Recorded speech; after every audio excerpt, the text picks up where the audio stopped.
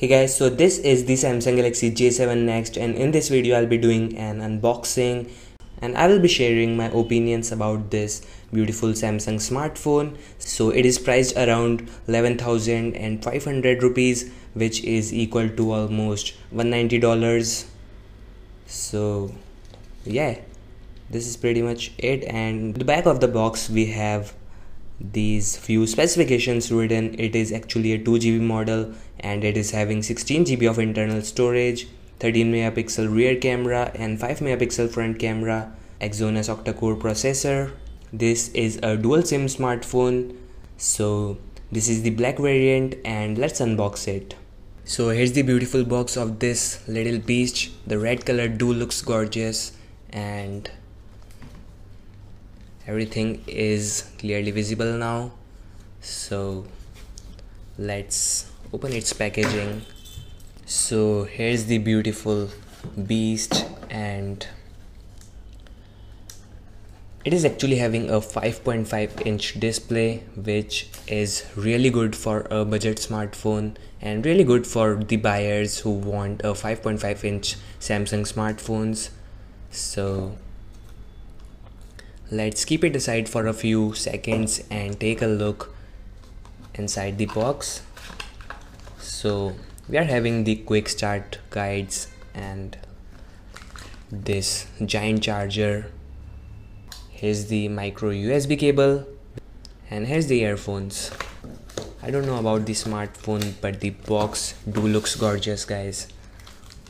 As you can see that it is actually a 3000 mAh battery which is really good for a budget smartphone like this. It really looks gorgeous and this is the dual sim variant as you can see that we are having duos written and it is having a removable back and it's actually a plastic bag just like other samsung smartphones. So as you can see that in this area you can insert the micro SD cards while we are having the dual SIM card slot here. So this device comes with Android 7.0 Nougat and I think same UI which is available for the Samsung Galaxy S8 and the S8 Plus.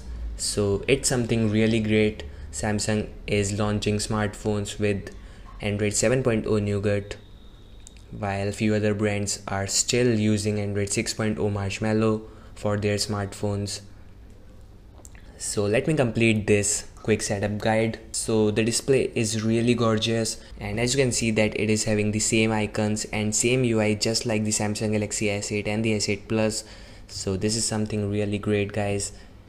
As you can see that we are having this notification panel and it really looks good. And it is not having the Bixby or the Bixby button which is available for the Samsung Galaxy S8 the power button can be found on the right while the volume rocker keys is on the left.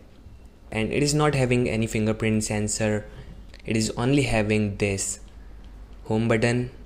Device do looks gorgeous guys. The UI is fluid. So gone those days when the touchwiz UI was laggy so as you can see that device name is Samsung Galaxy J7 Nxt and the model number is J701F slash DS. So we are also having this briefing.